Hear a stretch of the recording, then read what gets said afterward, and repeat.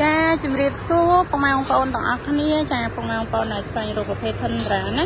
ចាសម្រាប់ប្រភេទធនត្រានេះឆ្នាំផលិត2007ចាជាប្រភេទឡានលីវិធីចា option ពេញតែម្ដង ចាសម្រាប់ឡាននេះសបកកង់យ៉ាន់អីគឺថ្មីហើយចា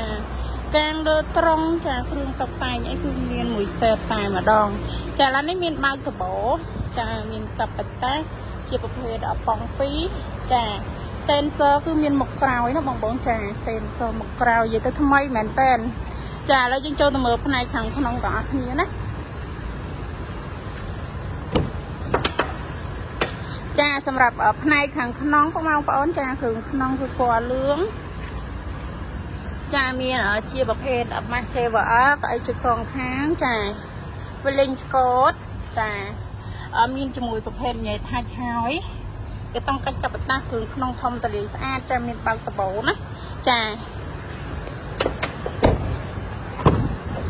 ចានេះគឺផ្នែកខាងក្រោយចាធំតលីស្អាតមែនតែនឡាននេះមាន DVD ទៀតណាបងបងចាមាន DVD ទៀតចាសម្រាប់បងបងចង់រំលោះចាមុនចូលឆ្នាំខ្មែរចារុះរន់ឡើងចា សម្រាប់ទីតាំងវិញចាទីតាំងក៏នៅលើផ្លូវហាណូយនៅជិតខ្នងទ្វារវត្តសំរោងមណ្ដែតចាអរគុណច្រើនជម្រាបលាពុកម៉ែបងប្អូនទាំងអស់គ្នា